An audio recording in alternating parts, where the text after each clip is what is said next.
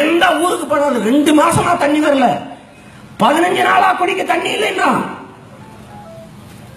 எவ்வளவு அழுகிறது எவ்வளவு வருத்தப்படுறது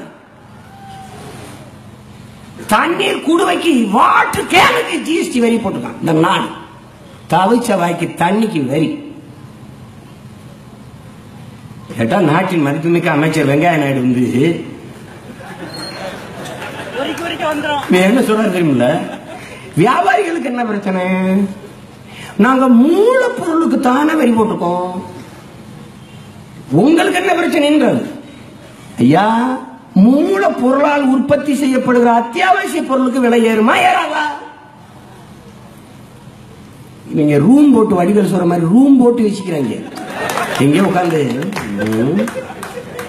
இவங்கள வாழ விடக்கூடாது. இந்த பயல்ல நிம்மதியா திருநாங்க ம்? டேய் நீங்க எல்லாம் ஊருக்கு போங்க? ஏய் நீங்க எல்லாம் இன்னும் சாகாம இருக்கீங்க நீங்க எல்லாம் எப்பவும் செத்திருப்பீங்கன்னு நினைச்சவன் ஐயா. அதான் அவன் கணக்கு.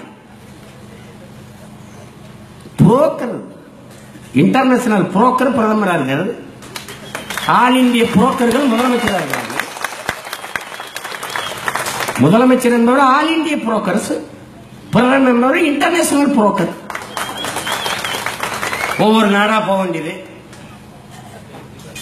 ஊர் ஊரா தான் சுத்தி பார்க்கிறாரு சிறந்த பத்து பிரதமர்ல அவர் இடம் வரல அவர் பேரை காணோம் அப்படியே கைய கைய ஆட்டிட்டு போயிட்டு இருக்காரு அவர் வாட்டுக்கு போயிட்டு இருக்காரு गुजरात में सरकार में है जीएसटी मसौदा है